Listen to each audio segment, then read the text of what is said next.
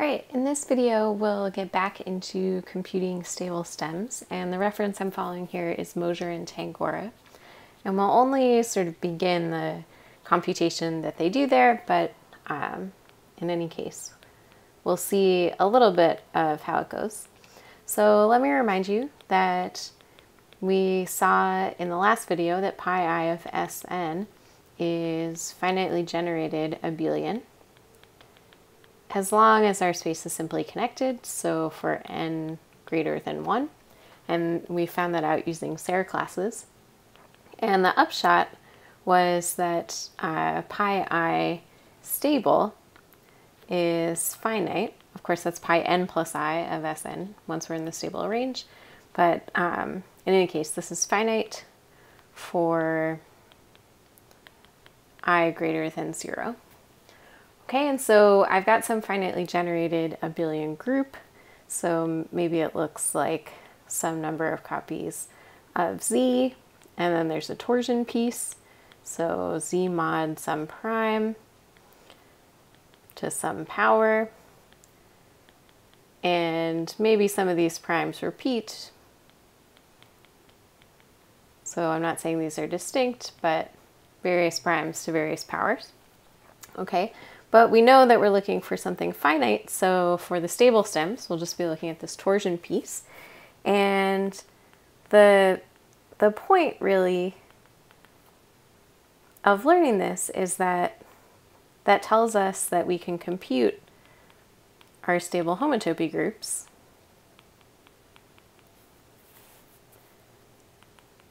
pi i stable one prime at a time.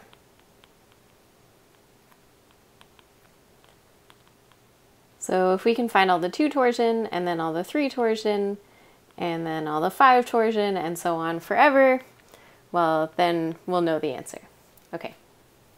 And of course, at any given spot, there can only be finitely many primes. So uh, that, in a sense, would tell us the answer, though, of course, that still involves infinitely many primes. Okay, so uh, knowing that we can do this one prime at a time, what we often do is compute the p component. And I think this has come up in discussion at least, but I'm not sure we ever formally defined it. So the key, the sorry, the p component of A is just the quotient of this A as I've written it here by all the torsion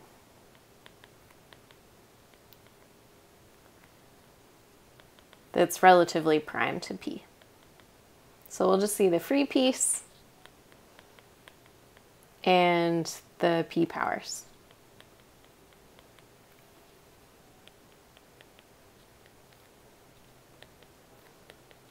So maybe that looks like uh, c to the n, and then now I want these to be actually p, and they've got some exponents.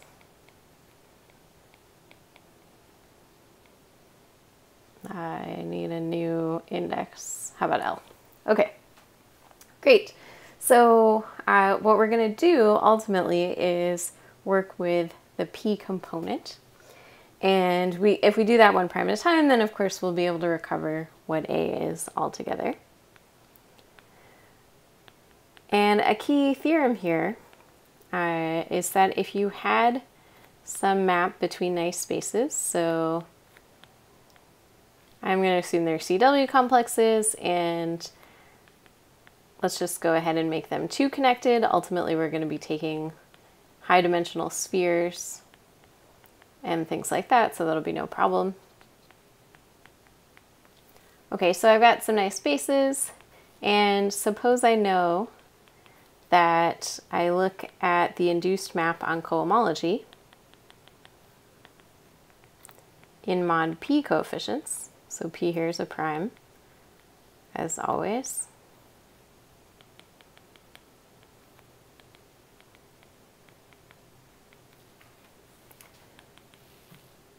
So if this is an isomorphism for all i less than n and a monomorphism for i equal to n,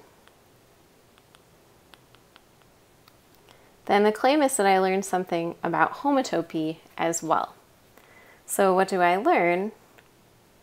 That's supposed to be a comma. So um, what I learned is that I can look at the p component of x, and the homotopy of x, and the p component of the homotopy of y, and these will be isomorphic. So these are isomorphic p components.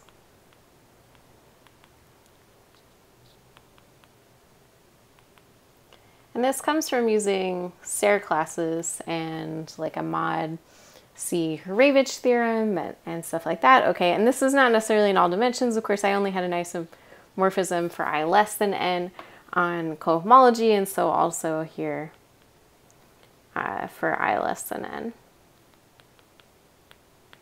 Okay, great. So, so what's our goal here is we'll work with two components.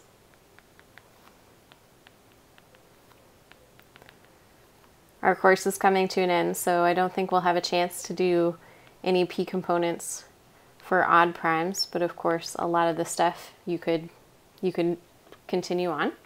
Um, so we'll work with two components and the idea is to compute the cohomology of some nice space x in mod 2 coefficients and the hope is that if we pick that space nicely enough then we'll learn about the two component of the homotopy groups of spheres. Okay, and we'll just assume that n is large uh, because we're interested in the stable range.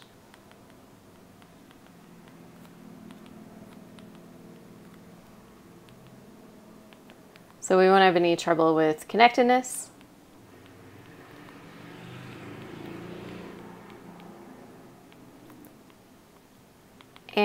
And we'll also see uh, that the Eilenberg-MacLane spaces will show up in this work. So um, assuming n is large tells us right that their cohomology um, looks nice for a while. So for example, the cohomology of KZ mod 2n just looks like the Steenrod algebra up through degree 2n, and then we start to see polynomial stuff.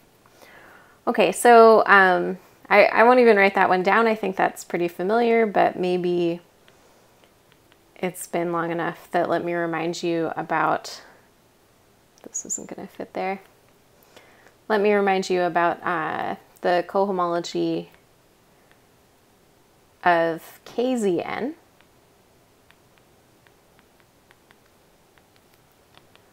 So I was talking about KZ mod 2n, but if I take KZN, and we'll work in mod 2 coefficients. In fact, everything uh, in this video will be in mod 2 coefficients.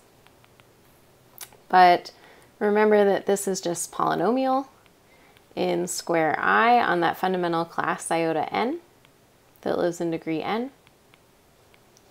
And these i's, these are sequences of squares really, so come on, where I runs through, remember we needed admissible sequences.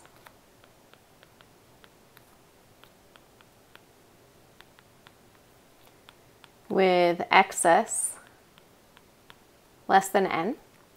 And if our sequence ends in IR, I1 through IR, then this last thing IR should not be equal to 1. And that was just because square 1 on iota n was 0 in this setting. Okay, so we've got iota n in degree n, and then nothing in degree n plus 1 because square 1 iota n is 0. But then we've got square 2 iota n, which lives in degree n plus 2.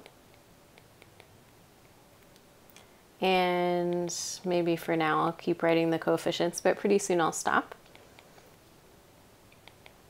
But we've got KZN here, and then this is also maps to, remember this is representable, so that's KZ mod 2 n plus 2, I guess. It's the degree of our cohomology.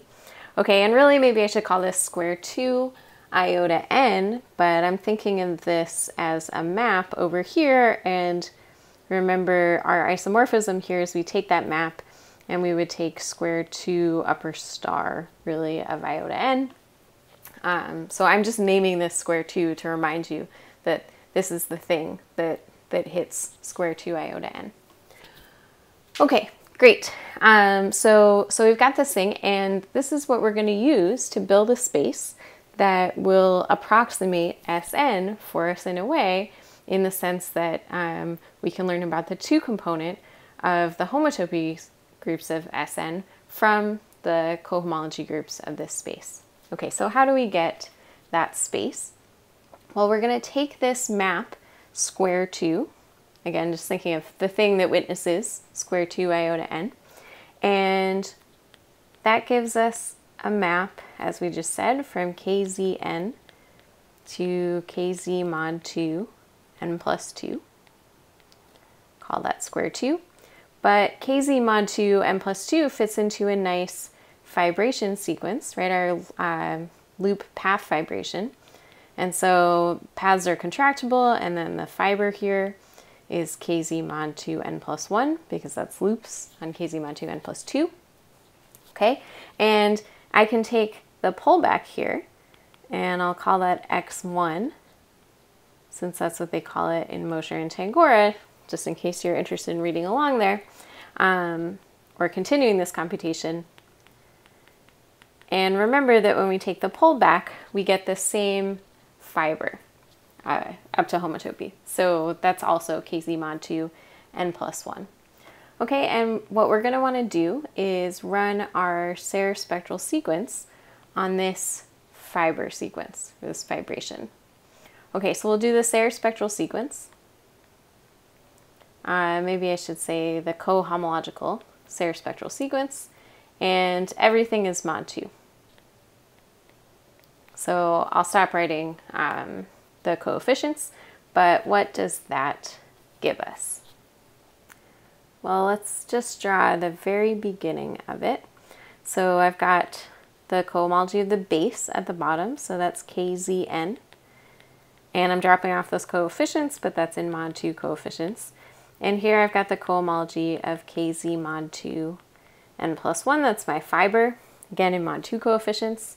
So of course I've got like 1 tensor 1 down here uh, in degree 0, 0. But then in degree n here, I've got iota n. We just said that square 1 on iota n is 0, so in degree n plus 1, that's just 0. But when we get up to degree n plus 2, we've got square 2 iota n.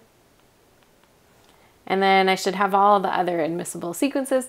And remember, I should only go up um, to things that are excess less than n, and then I start to see polynomial stuff, but we can make our n as large as we want. So uh, we can just make it large enough that we keep going for a while. So maybe let me just stop for now at n plus 3. Something we've got there is like square 3 iota n. Um,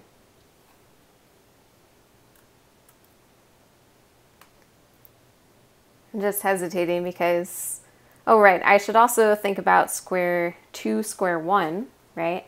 But uh, square 1 iota n is 0, so that thing is just 0. So that, that's something admissible with excess less than n for my large n, but I'm not actually going to write that here.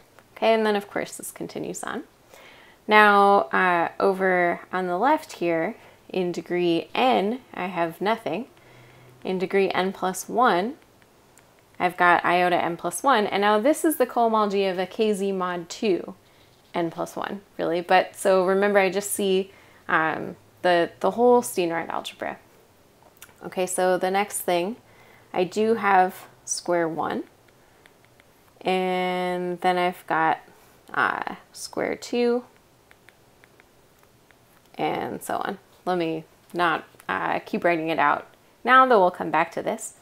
But all of this should converge to the cohomology of this space x1 in 2 coefficients. And that's really the thing that we're going to be interested in.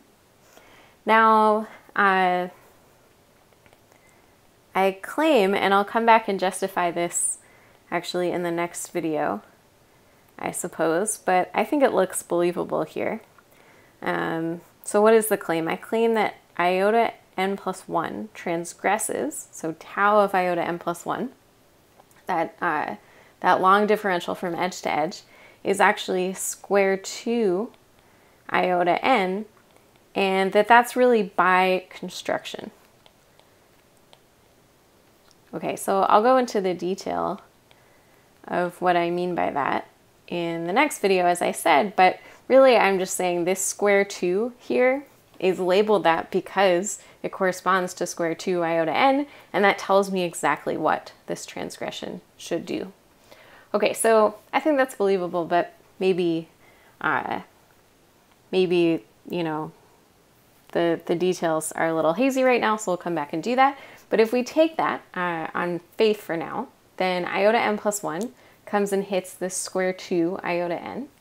And then remember that uh, our transgression commutes with the Steenrod squares. So if we believe that, then we look at tau on square 1 iota n plus 1, and that's square 1 of this thing, so square 1 square 2 iota n. And square 1 square 2, remember from an Adem relation, that's square 3 iota n. So that, that last bit was an Adem relation. Okay, so that would tell me that this thing comes and hits square 3 iota n. And I could continue on trying to compute what, what the transgression looks like here. Okay, at the very least, that already tells us that since this is converging to the cohomology of x1, well, we've got all the stuff in total degree n. There's only this one class that's left. Okay, so hn of x1 is z mod 2. hn plus 1, well, there's nothing in total degree n plus 1. Remember, we're making n large, so I shouldn't have to worry about polynomial stuff. That'll be in degree 2n. That's got to be huge. Uh, I can make it as big as I want. So um, in degree n plus 1, I've really only got this 0. And, oh, the kernel of that map, which, um, or sorry, kernel, yes, the kernel of that tau map, which is 0. Okay, so I've got hn plus 1 of x1 is 0. And then again, I look in degree n plus 2, and that was hit, and that supports a differential, so there's nothing there. And so I also don't have to worry about any extension problems. Great, that's also 0. Notice I haven't said anything about hn plus 3. We'll, we'll come back and look at that later. But just armed with this little bit of information, oops, gonna need another page here. Sorry about that. Just armed with that little bit of information, uh, I, I actually can say something about the two component of the spheres. Okay, but even that takes a little bit of work to get to. So, so how can we use this? Well, okay, I'm just trying to think how to fit this on the page. I think I'm going to have to go to the next page. So I want to look at this map that started me off that I called square 2. So I went from kzn to kz mod 2 n plus 2, right? And over on the right, I had my loop path fibration, so that's just paths, which is contractible. And then x1 was the pullback here. Okay, so now I want to take a map from Sn to Kzn that generates pi n of Kzn, which is z. And I claim that square 2, this map after f, is null homotopic. Okay, well, uh, really that's just because kz mod 2 n plus 2 is n plus 1 connected. So of course, I, the composition here is a map from Sn to that thing. Something in pi n, that's got to be 0. Okay, so this is null homotopic. And let's say that H is the null homotopy here. So uh, I, I can think of that as saying that this map factors through this contractible space. Oops. Just call that H. Okay, and now because of the universal property of pullback, that tells me that actually I have a map from Sn to x1. So we'll just call that f1. It's basically f, but deformed a little bit. Okay, so uh, I, I want to remember these facts about cohomology. Basically, what have we done with this? Oops, this one said x2. I was thinking ahead to a later situation. That should be an x1. Um, so, so what have I done with this x1? I've, I've sort of taken something that looks like KZN. I've deformed it a little bit. And in, in doing that, I've killed off the thing that was in degree 2, right? Okay, and now I'm looking at the homotopy groups of this thing. I'm looking at maps from Sn to X1. Um, I, am really going to use that to say something about cohomology. So this F1 upper star is a map from the cohomology of X1. Oh, I said I would stop writing the coefficients, but in mod 2 coefficients to the cohomology of Sn. And this is an isomorphism in degrees less than or equal to n plus 2. So again, I'm in mod 2 coefficients, so I should just have a z mod 2 in degree n here. And then I should have 0 in degree n plus 1 and 0 in degree n plus 2, and then of course 0 in all the higher degrees. But at the very least, up to there, that is indeed an isomorphism. And I, I suppose I didn't check the, the lower cohomology, but I think it was sort of clear from this picture that all of that was 0. So so yes, indeed, we have have this isomorphism in these degrees. And now our theorem about uh, having an isomorphism in mod 2 cohomology tells us about the homotopy groups, or at least their two component. This tells us that pi i of x1 and pi i of sn, these have isomorphic two components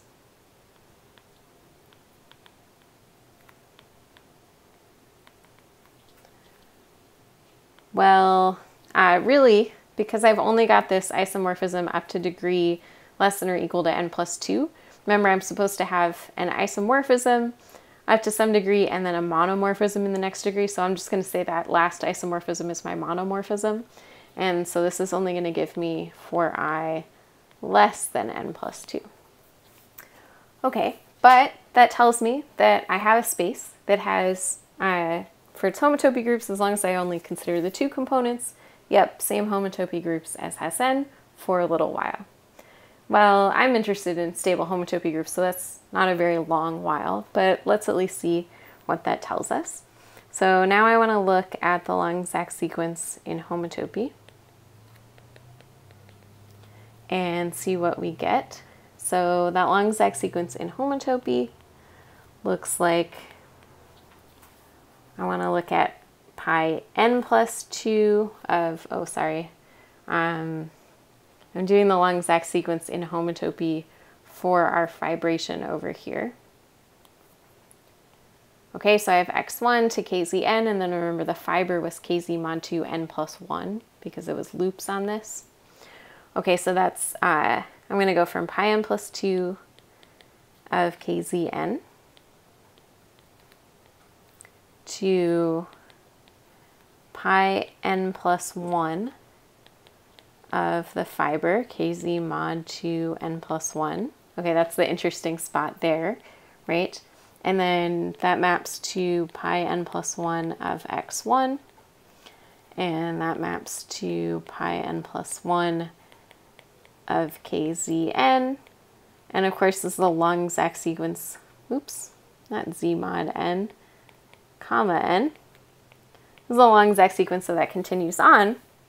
Now, of course, I'm still only talking about the two components, um, but, but as it is, I guess I already know that, um, oh, I don't think I even need to be only talking about the two components here because these are things that I know the homotopy groups have, right? This is just zero and this is zero.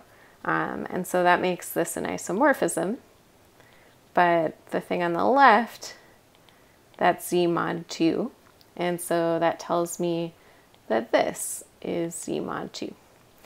Okay, great. So uh, that tells me actually all of pi n plus 1 of x1, but what I care about is that that tells me about the two component of pi n plus 1 of Sn.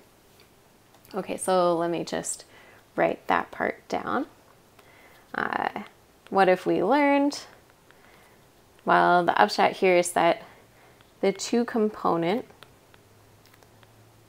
notice the two component of just a single z mod 2 doesn't change it at all. So the two component of pi uh, n plus 1 of Sn, which is pi 1 stable, is z mod 2. Okay, now if you remember way back when, we actually already knew that pi 1 stable was z mod 2. So we've already proved this, this is z mod 2 using a slightly different technique, though it looked a little bit similar. Um, so, and this is not just the two component. So we know the whole thing. Okay, so now at this point you're like, great, we just went through all of that work and we learned nothing new. But the point was to set ourselves up for a technique that would easily extend to, to higher things. So in the next video, we'll go beyond pi 1 stable. We'll actually be able to compute pi 2 stable, or at the very least the 2 component, using this technique. Okay, but this video is already getting a little bit long, so let me stop there.